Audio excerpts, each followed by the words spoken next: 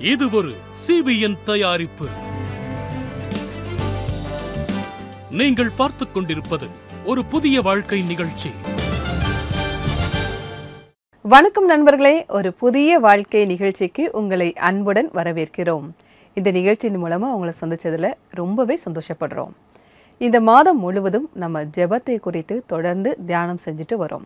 அந்த வகையில் இன்னைக்கு நம்ம பார்க்க போகிறது ஜெபத்தின் மூலமாக எல்லா விதமான பயத்திலிருந்தும் நாம் நீங்க முடியும். அதை தான் பார்க்க போகிறோம் பொதுவாகவே நம்மக்கிட்ட எத் ஏதாவது ஒரு பயம் இருந்துக்கிட்டே தான் இருக்குது. ஆனால் நம்ம ஜெபத்தின் மூலமாக அதை மாற்ற முடியும். அதை நம்ம இன்றைக்கான நிகழ்ச்சியில் பார்ப்போம். நம்முடைய நிகழ்ச்சியில் இப்போ நம்ம சந்திக்க இருக்கவங்க நீட்டா மேத்யூ. அவங்களுடைய ஜீவனுள்ள சாட்சியை தான் நம்ம பார்க்க இருக்கோம். இவங்களுடைய வாழ்க்கையில் இரண்டாயிரத்தி பன்னிரெண்டாம் வருஷம் இவங்களுக்கு ஒரு அதிர்ச்சி தரக்கூடிய செய்தி இவங்களுக்கு கிடைச்சிருக்கு. அதாவது இவங்களுக்கு கேன்சர் இருக்குது அப்படிங்கிற செய்தி இவங்களுக்கு தெரிய வந்திருக்கு. உடனே இவங்க குடும்பத்தை நினச்சோம் குழந்தைங்களை நினச்சோம் ரொம்ப கவலைப்பட ஆரம்பிச்சிட்டாங்க. இவங்களுக்கு எதிர்காலத்தை குறித்த ஒரு பயம் இவங்களுக்குள்ளே வர ஆரம்பிச்சிட்டு. ஆனால் அதுக்கப்புறம் எப்படி இவங்க ஒரு புதிய வாழ்க்கையை பெற்றுக்கொண்டாங்க அப்படின்னு அவங்க சொல்கிறாங்க வாங்க பார்க்கலாம். நீதா மேத்யூ ஒரு நர்ஸாக பணிபுரிந்து வருகிறார். அவர் பணியில் இருந்தபோது ஒரு பெண் அவரை தேடி வந்தார். திடீர்னு ஒரு பொண்ணு என்கிட்ட வந்தா அவ தன்னோட மார்பில் இருந்த தையலை பிரிக்க சொன்னா நானும் டாக்டர்கிட்ட எனக்கு கட்டி இருக்குதுன்னு சொன்னேன். உடனே டாக்டர் என்னை ஆப்ரேஷன் ஸ்ட்ரெச்சரில் படுக்க வச்சாரு. என்னை பரிசோதிச்சுட்டு அவர் பரிசோதிக்கும் போதே அவரோட முகம் பதட்டமாக மாறிட்டு இருந்தது நான் அவர்கிட்ட என்ன விஷயம் அப்படின்னு கேட்டேன். அதுக்கு அவர் அந்த பொண்ணுக்கு இருக்கிற கட்டி மாதிரி இது சாதாரண கட்டி இல்லை அப்படின்னு அவர் என்கிட்ட சொன்னார். நான் ரொம்ப பயந்துட்டேன். சில காலம் வரை நீதா டாக்டருடைய ஆலோசனையை தள்ளி போட்டார். டாக்டரின் வற்புறுத்தலின் காரணமாக அவர் பயாப்சி செய்ய ஒப்புக்கொண்டார். நாங்கள் நாக்பூரில் இருக்கிற ஒரு மெடிக்கல் காலேஜுக்கு போனோம். நாங்கள் அந்த மருத்துவமனையில் பரிசோதனை செஞ்சுக்கிட்டோம். எனக்கு அந்த மருத்துவமனையில் பயாப்சி நடந்துச்சு. அப்புறம் அந்த பயாப்சி நடந்து எனக்கு ஏழு நாள் கழித்து ரிப்போர்ட் வந்தது. அதில் எனக்கு கேன்சர் இருக்கிறதா ரிப்போர்ட்டில் இருந்துச்சு. ரிப்போர்ட் வந்த பிறகு நீதா மிகவும் பயந்து போனார். எனக்கு அதை கேட்ட உடனே எனக்கு இந்த உலகமே இருண்டு போன மாதிரி இருந்துச்சு. நான் ரொம்ப பயந்து போயிட்டேன். நான் பயந்து போனதுனால உடனே அட்மிட் ஆகிறதுக்கு முடிவு செஞ்சுட்டேன்.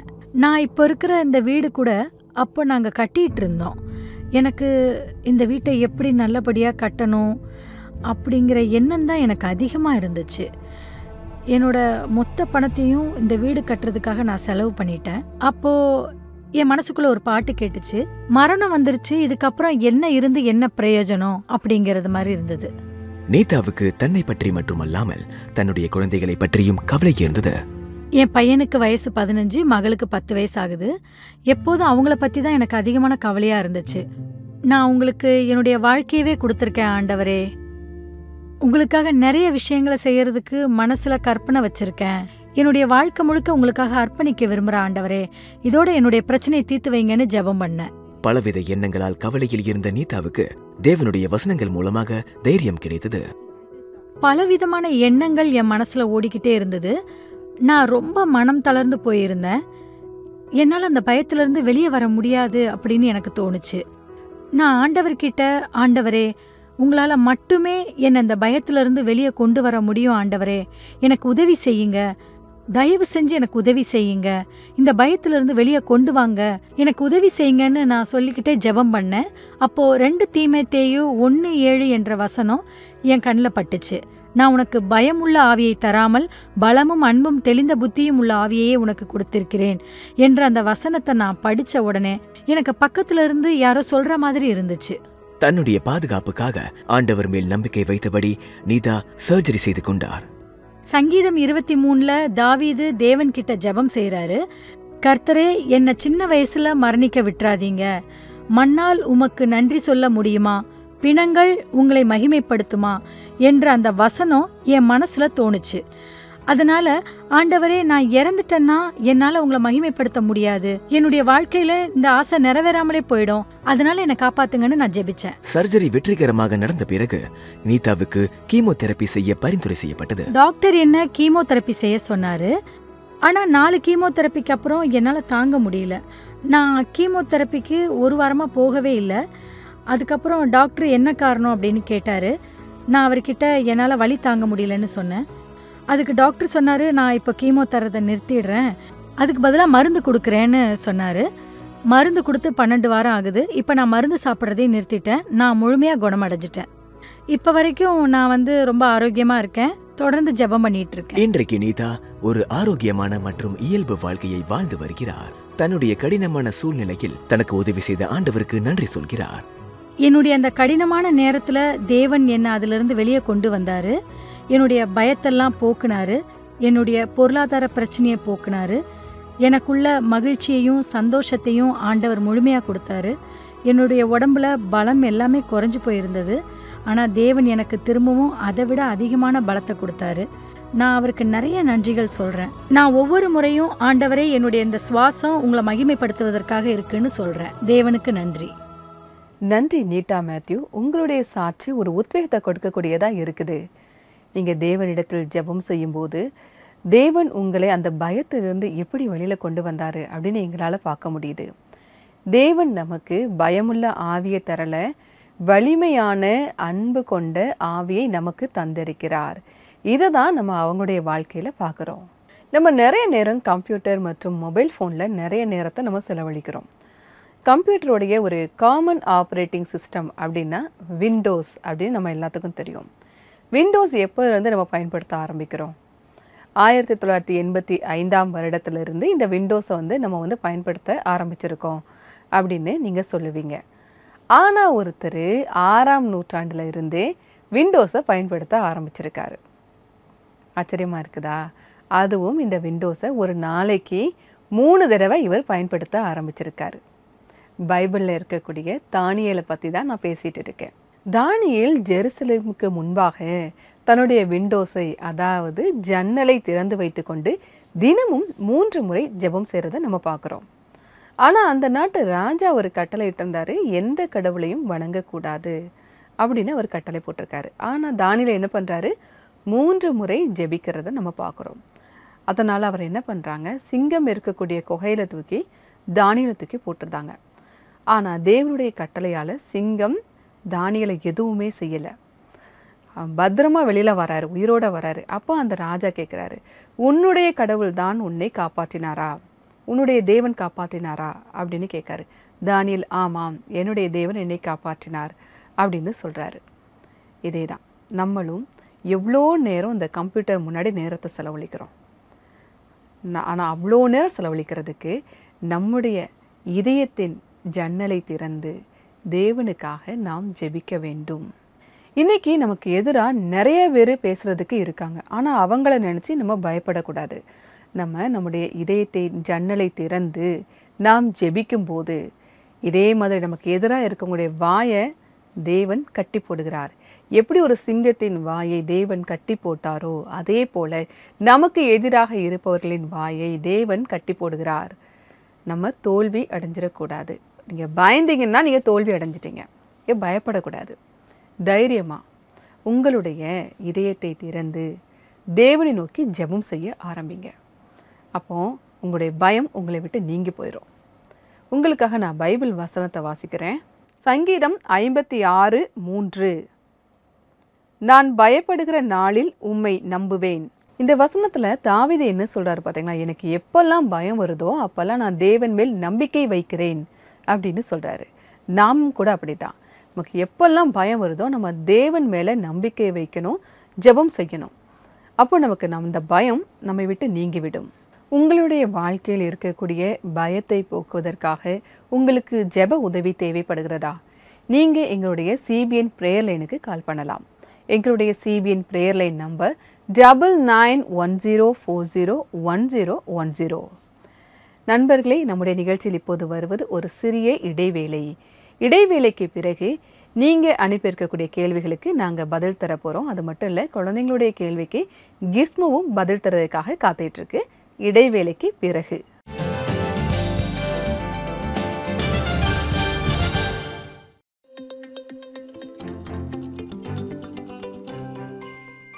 Hello and welcome to the super book quiz so team நீங்க ரெடியா இருக்கீங்களா?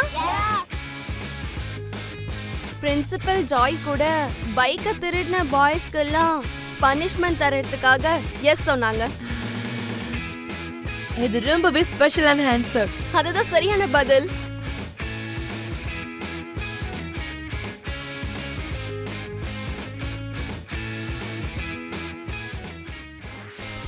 உங்க சர்ச்சில் உங்க ஸ்கூல்ல சூப்பர் புக் காம்படிஷன்ல கலந்துக்க விரும்புனா ரெஜிஸ்டர் பண்றதுக்கு நீங்க எங்களோட website W W dot CBN India dot ஓஆர்ஜில போய் கனெக்ட் வித் அஸ்ல போய் ரெஜிஸ்டர் பண்ணலாம்.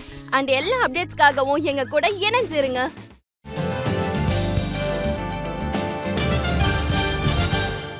வெல்கம் பேக் நண்பர்களே. ஜெபத்தின் மூலமாக நாம் எப்படி பயத்திலிருந்து வெளிவரலாம் அப்படின்னு நம்ம பார்த்துட்டு இருக்கோம்.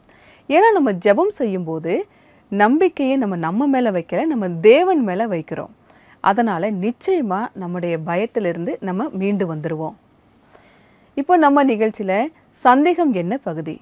இதில் நீங்கள் அனுப்பி இருக்கக்கூடிய கேள்விகளுக்கு நாங்கள் பதில் தரப்போகிறோம் வாங்க பார்க்கலாம்.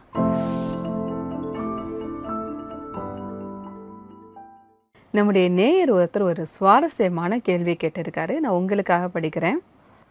நான் என்னுடைய எதிர்காலத்திற்காக நிறைய பெரிய பெரிய திட்டங்களை உருவாக்கி வைத்திருக்கிறேன். ஆனால் நான் மிகவும் குழப்பமாக இருக்கிறேன். இந்த குழப்பத்தின் காரணமாக என்னுடைய வாழ்க்கையில் பயம் அதிகரித்து விட்டது. நான் என்ன செய்வது? இந்த கேள்வி கேட்டதற்காக மிக்க நன்றி. நான் சின்ன குழந்தையாக இருக்கும்போது எனக்கு ஏதாவது ஒரு குழப்பமாக ஒரு சந்தேகம் இருக்குது அப்படின்னா நான் எங்கள் அப்பா கிட்ட போய் அதை கேட்டு அதை நான் வந்து நிவர்த்தி செஞ்சிருவேன். உங்களுக்கும் அதே தான் நீங்கள் உங்கள் பரமபிதாவாகிய தேவனை நோக்கி செல்லுங்கள். உங்களுக்கு ஒரு குழப்பமான சூழ்நிலை இருக்குது அப்படின்னா நீங்கள் அவர்கிட்ட கேட்கணும். ஏன்னா அவருக்கு தெரியும். இங்கே வந்து என்ன நடக்குதுங்கிறது அவருக்கு தெரியும். ஒரு முடிவு எடுக்க போகிறீங்கன்னா இந்த முடிவில் நான் செல்லலாமா வேண்டாமா எடுக்கலாமா அப்படின்னு தேவன்கிட்ட நீங்கள் கேட்கணும். ஏன்னா தேவனுக்கு அதோட முடிவும் தெரியும் ஆரம்பமும் தெரியும். எல்லாமே தேவனுடைய திட்டம்தான். இருந்தாலும் நீங்கள் அவர்கிட்ட கேட்கணும் இதை நான் செய்யலாமா? அப்போ அவர் உங்களுக்கு வெளிப்படுத்துவார். இப்போ குழப்பமான சூழ்நிலை இருக்கும்போது ஒரு மூன்று முக்கியமான காரியம் இருக்குது முதல்ல நீங்கள் தேவன்கிட்ட கேட்கணும் இதை நான் செய்யலாமா வேண்டாமா? அப்படின்ட்டு. ரெண்டாவது நீங்கள் வந்து வசனங்களை வந்து படிக்கணும். ஏன்னா வசனங்கள் மூலமாக தேவன் நமக்கு சில காரியங்களை தெரியப்படுத்துவார். குழப்பமாக இருக்கீங்க அப்படின்னா வசனங்கள் மூலமாக அவர் பேசுவார். அதனால் வசனங்களை படிக்க ஆரம்பிங்க. மூன்றாவது காரியம் வந்து தேவனுடைய விசுவாசிகள் அவங்கக்கிட்ட போதகராக இருக்கலாம். அல்ல உங்கள் வீட்டில் இருக்கக்கூடிய பெரியவங்களாக இருக்கலாம். அவங்கக்கிட்ட நீங்கள் வந்து ஆலோசனை கேட்கலாம். அவங்களுடைய அனுபவத்தின் மூலமாக உங்களுக்கு அவங்க சில ஆலோசனைகளை தருவாங்க. அப்போ உங்களுடைய குழப்பம் நீங்கும். இந்த மூன்று காரியங்களையும் நீங்கள் கடைபிடிக்கும் போது உங்களுடைய குழப்பங்கள் தீரும். மறக்காமல் இந்த மூன்று விஷயங்களையும் நீங்கள் ஃபாலோ பண்ணுங்கள் தேவனிடத்தில் கேளுங்கள் வசனங்களை படியுங்கள் தேவனுடைய விசுவாசிகளிடம் ஆலோசனை கேளுங்கள். உங்களுடைய சந்தேகம் தேர்ந்திருக்கும் அப்படின்னு நாங்கள் நம்புகிறோம் இப்போ குழந்தைங்களுடைய கேள்விக்கு பதில் தரதுக்காக கிஸ்மோ காத்துட்டு இருக்கு வாங்க பார்க்கலாம். ஹலோ எவ்ரிவன் உங்க எல்லாரையும் கிஸ்மோ கேள்விகள் பகுதிக்கு வரவேற்கிறேன். ஹாய் எவ்ரிவான் இன்றைய கேள்வி என்னன்னு நம்ம பார்க்கலாம். வாங்க. கிஸ்மோ இன்னைக்கு கேள்வியை கேட்டிருக்க அவங்க பேரு பிரியங்கா. அவங்க என்ன கேட்டிருக்காங்கன்னா எப்போ நம்ம ஜெபம் செய்யணும்னு? பிரியங்கா பொதுவாக ஜெபம் செய்யறதுக்கு சரியான நேரம்னு ஒன்று கிடையாது. நீங்கள் எந்த நேரத்துலையும் எங்கே வேணாலும் ஜெபம் செய்யலாம். நீங்கள் உங்கள் பெற்றோர்கிட்ட பேசுகிற மாதிரி எந்த நேரத்துலையும் தேவன்கிட்ட பேசலாம். எதை வேணாலும் பகிர்ந்துக்கலாம். இதுக்காகவும் நீங்கள் உதவி கேட்கலாம். நீங்கள் கவலையோடு இருந்தாலும் சரி பயத்தில் இருந்தாலும் சரி நீங்கள் ஜெபம் செய்யலாம். தேர்வுக்கு முன்னாடியோ இல்லை சின்னதா பெருசா எந்த பிரச்சனையா இருந்தாலும் ஜெபம் செய்யலாம். ஒரு விஷயத்த உங்களுக்கு நான் சொல்ல விரும்புகிறேன் நீங்கள் காலையில் எந்திரிச்ச உடனே அப்புறம் ராத்திரி தூங்க போகிறதுக்கு முன்னாடி தேவன் கிட்ட ஜெபம் செய்யறது அவசியம். காலையில் நீங்கள் தேவன்கிட்ட அவரோட ஆசீர்வாதத்தை கேட்டபடி உங்களை ஒப்படைச்சிருங்க. அந்த நாளோட முடிவில் அந்த நாளுக்கு நன்றி சொல்ற விதத்தில் தேவன் கிட்ட ஜெபம் பண்ணுங்க. அதோட அன்னைக்கு நாள் எப்படி இருந்துச்சு நீங்க எப்படி உணர்ந்தீங்கன்றத தேவன் கிட்ட நீங்க பகிர்ந்துக்கலாம். ஏன்னா நீங்க சொல்றது எப்பவும் கேட்க அவர் தயாரா இருக்காரு. சங்கீதம் அஞ்சு மூணுல சாலமன் ராஜா சொல்றாரு கர்த்தாவே காலையிலே என் சத்தத்தை கேட்டு அருளுவீர். காலையிலே உமக்கு நேரே வந்து ஆயத்தமாகி காத்திருப்பேன். பிரியங்கா நீங்க எப்போ ஜெபம் செய்யணும்ன்ற பேசிக்கான விஷயத்த தெரிஞ்சுக்கிட்டு இருப்பீங்கன்னு நினைக்கிறேன். நாங்க பொதுவா ரெக்கார்டிங் செய்யும் போது கொஞ்சம் பதட்டமா இருப்போம். கேமராவை ரோல் செய்யறதுக்கு முன்னாடி நாங்க எப்பவுமே ஜெபம் செய்வோம். அதே மாதிரி நீங்களும் ஜெபம் செய்யுங்க. அதே மாதிரி உங்களுக்கும் கிஸ்மோ கிட்ட கேட்க ஏதாவது கேள்வி இருந்ததுன்னா எங்களை இன்ஸ்டாகிராம் ஃபேஸ்புக்ல டிஎம் பண்ணுங்க. Until next time bye bye Angeline மற்றும் கிஸ்மோவுக்கு எங்களுடைய நன்றி. ஒரு குழந்தை கேட்ட கேள்விக்கு ரொம்ப அருமையாக நீங்கள் பதில் கொடுத்தீங்க. மிக்க நன்றி. நண்பர்களே உங்கள் குழந்தைகளுக்கும் சூப்பர் புக்கை நீங்கள் அறிமுகம் செய்து வைங்க ஏன் அப்படின்னா அவங்க பைபிளை பற்றி தெரிஞ்சுக்கிட்டதுக்கும் தேவனை பற்றி இன்னும் அதிகமாக தெரிந்து கொள்வதற்கும் அது அவங்களுக்கு உதவியாக இருக்கும்.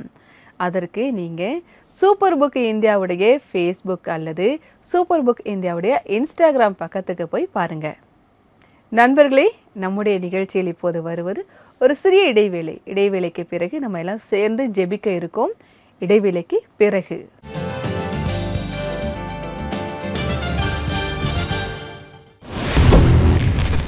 முதல்ல ஒரு விஷயம் சொல்லணும்னா இந்த ஸ்டுடியோ ரொம்ப விசேஷமா இங்க நிறைய இடங்கள் இருக்கு. இங்க லைட்டிங் ரொம்ப அற்புதமா பண்ணிருக்காங்க. அப்புறம் கேமராஸ் ரொம்ப ஹை அண்ட் கேமராஸ் எல்லாம் வச்சிருக்காங்க. இங்க ஒரு சின்ன ஏரியாலேயே மல்டிபிள் செட்ஸ் இருக்கு. ஸோ இங்க ஒரு செட்டை ரெடி பண்றதுக்கு ரொம்ப நேரம் ஆகாது. ஆனால் இது எல்லாத்தையும் விட ரொம்ப அற்புதமான விஷயம் என்னன்னா இங்கே இருக்கிற சிபிஎன் டீம் தான். நம்மளை ரொம்ப கம்ஃபர்டபுளாக வச்சுப்பாங்க. இங்கே இருக்கிற டீம் மெம்பர்ஸ் எல்லாருமே ரொம்ப எக்ஸ்பீரியன்ஸ் ஆனவங்க. அதனால இங்கே டெல்லி குர்கானில் இருக்கிற டீமோட ஒர்க் பண்ணுறது எனக்கு ரொம்பவே சந்தோஷமாக இருக்குது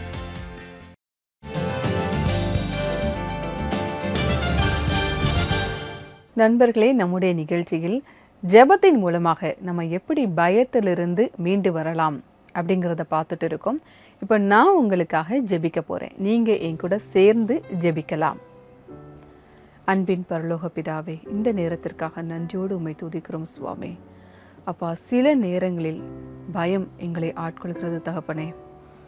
எங்களால் இந்த பிரச்சனையை எதிர்கொள்ளவே முடியலை. எனக்கு இதை நினைச்சாலே பயமாக இருக்குது அப்படின்னு நிறைய பேர் இந்த நேரத்தில் ஜெபிச்சிட்டு இருக்காங்க ஆண்டவரே. அப்பா உங்கள் மேலே நாங்கள் நம்பிக்கையாக நாங்கள் ஜெபம் செய்கிறோம் தாவிது சொல்கிறாரு எனக்கு எப்போல்லாம் பயம் வருதோ அப்போல்லாம் நான் தேவன் மேல் நம்பிக்கை வைக்கிறேன்னு சொல்கிறாரு நாங்களும் அதே நம்பிக்கையை உம்மிடத்தில் வைக்கிறோம் கர்த்தாவே. இந்த பயத்தை நீங்கள் எங்களிடத்திலிருந்து நீக்குங்க கர்த்தாவே. எங்களுடைய எதிர்காலத்தை குறித்த பயமாக இருக்கட்டும். என்ன பயமாக இருந்தாலும் சுவாமி நீங்கள் மாற்ற வல்லவராக இருக்கீங்க சுவாமி. அப்பா உமக்கு தெரியும். இந்த பிரச்சனையின் ஆரம்பமும் முடிவும் உமக்கு தெரியும் கர்த்தாவே. அப்பா இந்த பயத்திலிருந்து நீங்கள் நீங்கள் உதவி செய்யுங்க.